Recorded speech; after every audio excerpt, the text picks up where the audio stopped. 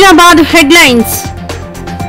అమ్మ న్యూస్కు స్పందన లభించింది. జిల్లా కేంద్రంలోని వినాయక్ చౌక్లో గల ఏకైక రైతు బజార్ను సమస్యలు పట్టి పీడిస్తున్నాయని అందులో ఏర్పాటు చేసిన షెడ్లు అలంకారప్రాయంగా మారాయని లక్షల్లో ఆదాయం వస్తున్నా కనీస సౌకర్యాలు కరువయ్యాయని ఇటీవల అమ్మా న్యూస్లో కథనం ప్రసారమైంది. దీనిపై స్పందించిన మార్కెటింగ్ సిబ్బంది రైతు బజార్లో ప్రక్షాళన చర్యలు చేపట్టారు. ముందు భాగంలో అడ్డదిడ్డంగా కూర్చుని కూరగాయలు అమ్ముతున్న వారిని వెనుక భాగంలో షెడ్ల ఎదురుగా వరుస క్రమంలో కూర్చోబెట్టారు. పార్కింగ్కు ఇబ్బందులు తలెత్తకుండా ముందు భాగం మొత్తం ఖాళీ చేయించారు. అంతేకాకుండా ఒమిక్రాన్ వేరియంట్ ముప్పును దృష్టిలో పెట్టుకుని రైతులు అమ్మకందారులకు తగు సూచనలు చేశారు. మాస్కులు ధరించాలని భౌతిక దూరం పాటించాలని చెబుతున్నారు. ఆదిలాబాద్ పట్టణంలోని ప్రభుత్వ డిగ్రీ కళాశాలలో స్వచ్ఛ సర్వేక్షణలో భాగంగా క్లీన్ అండ్ గ్రీన్ కార్యక్రమం నిర్వహించారు. అపరిశుభ్రంగా ఉన్న పరిసరాలను పరిశుభ్రం చేశారు. పనులను మున్సిపల్ చైర్మన్ జోగు ప్రేమిందర్ పర్యవేక్షించారు. స్వయంగా మిషన్తో పిచ్చి మొక్కలను తొలగించారు. శానిటేషన్ సిబ్బందికి తగు సూచనలు చేశారు. ప్రతి ఒక్కరూ పరిసరాలను పరిశుభ్రంగా ఉంచుకోవాలని తద్వారా ఎలాంటి రోగాలు దరిచేరవని అన్నారు. ఆయన వెంట కౌన్సిలర్లు లక్ష్మణ్ ప్రకాష్ కళాశాల ప్రిన్సిపల్ ప్రతాప్ ఉన్నారు.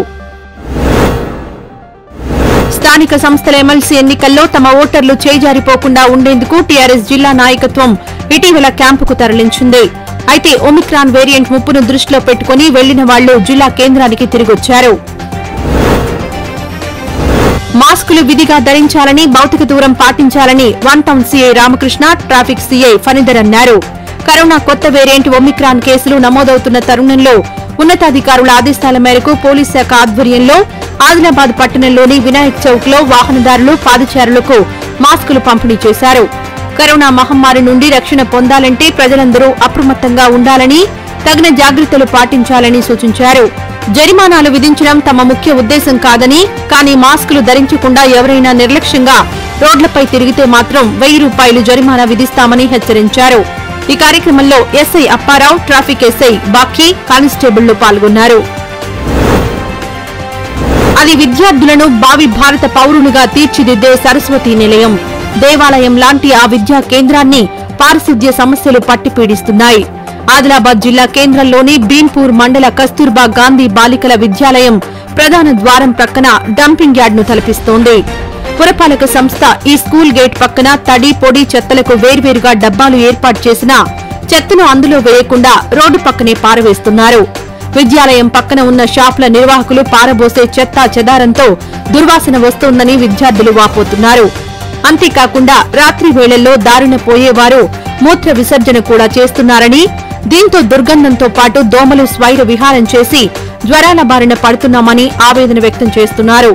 చెత్త పారబోయవద్దని ఎన్నిసార్లు చెప్పినా వినడం లేదని ఎవరికి చెప్తారో చెప్పుకోమంటూ దబాయిస్తున్నారని సిబ్బంది ఆరోపిస్తున్నారు. అధికారులు స్పందించి చెత్తను తొలగించే చర్యలు తీసుకోవడమే కాకుండా తిరిగి అక్కడ చెత్త వేయకుండా చర్యలు తీసుకోవాలని విద్యార్థులు వేడుకుంటున్నారు. పార్లమెంట్లో ఎస్సీ వర్గీకరణ బిల్లు ప్రవేశపెట్టాలని చెలో ఢిల్లీ మాదిగల లొల్లి పోస్టర్ను బేల మండలంలోని అంబేద్కర్ చౌరస్తా వద్ద విడుదల చేశారు. ఈ శీతాకాల పార్లమెంట్ సమావేశాల్లో మోడీ సర్కార్ ఎస్సీ వర్గీకరణ బిల్లు ప్రవేశపెట్టి చట్టబద్దత కల్పించాలని ఎంఆర్పీఎస్ రాష్ట్ర వర్కింగ్ ప్రెసిడెంట్ ప్రవీణ్ డిమాండ్ చేశారు. కానీ ఈ విషయంలో నిమ్మకు నేరెత్తినట్లు వ్యవహరిస్తోందని ఆరోపించారు. ముఖ్యంగా ఎస్సీ కులాల ఏబీసీడీ వర్గీకరణ విషయంలో సుప్రీంకోర్టు ఇచ్చిన తీర్పులో మాదిగా మాదిగ ఉపకులాలకు తీవ్ర అన్యాయం జరిగిందన్నారు. ఎన్నో పోరాటాలు చేసిన మాదిగలు మరోమారు ఏకమై హక్కులను సాధించుకోవాలన్నారు.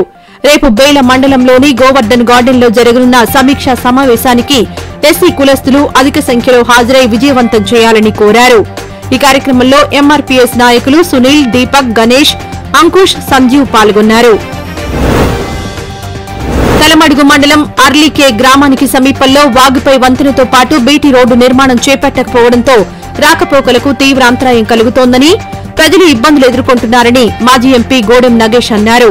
తాను పార్లమెంట్ సభ్యుడిగా ఉన్నప్పుడు కోటి తొంభై ఐదు లక్షలతో వంతెన నిర్మాణానికి స్పెషల్ ఫండ్ నుంచి నిధులు మంజూరు చేశారని తెలిపారు. వంతెన నిర్మాణ పనులను మండల టీఆర్ఎస్ నాయకులతో కలిసి పరిశీలించారు. నాణ్యతగా చేపట్టాలని సదరు గుత్తేదారుకు సూచించారు. వంతెన నిర్మాణాన్ని సంక్రాంతి వరకు పూర్తి చేయాలని అన్నారు. అలాగే బీటీ రోడ్డు పనులను త్వరలోనే చేయిస్తానని హామీ ఇచ్చారు. ఆయన వెంట గ్రామ పెద్దలు కేదారేశ్వర్ రెడ్డి చంద్రకాంత్ సర్పంచ్ కిష్టన్న వెంకటస్వామి సుంకిడి సర్పంచ్ మహేందర్ యాదవ్ నాగయ్య గ్రామస్తులు తదితరులు పాల్గొన్నారు. అరుదుగా ఏడాదికి రెండు సార్లు శనివారం రోజు వచ్చే అమావాస్య కావడంతో తలమడుగు మండలం కోసాయి గ్రామంలో వెలిసిన సంకటమోచన హనుమాన్ ఆలయానికి భక్తులు పోటెట్టారు. దర్శనానికి క్యూ కట్టారు.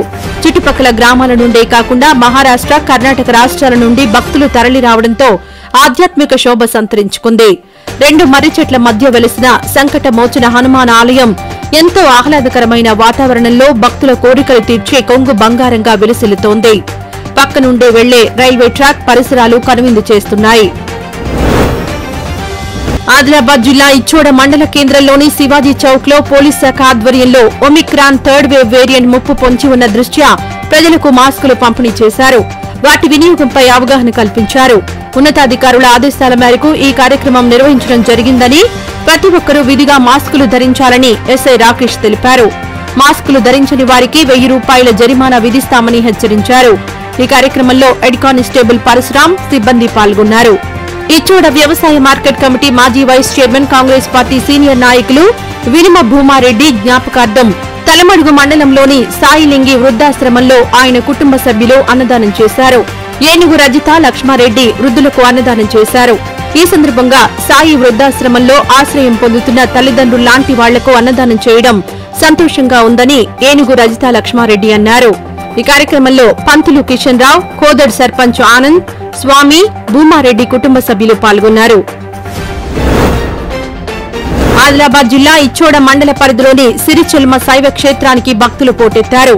శని అమావాస్య సందర్భంగా అతి పురాతనమైన శ్రీ మల్లికార్జున స్వామివారి ఆలయానికి భక్తులు తరలివచ్చి ప్రత్యేక పూజలు నిర్వహించారు. జిల్లా నుండే కాకుండా ఇతర జిల్లాలు పొరుగున ఉన్న మహారాష్ట్ర నుండి కూడా భక్తులు విచ్చేసి స్వామివారిని దర్శించుకున్నారు. చుట్టూ నీరు మధ్యలో ఆలయం భక్తులకు కనువిందు చేసింది. భక్తులకు ఎలాంటి ఇబ్బందులు కలగకుండా ఆలయ కమిటీ ఏర్పాట్లు చేసింది.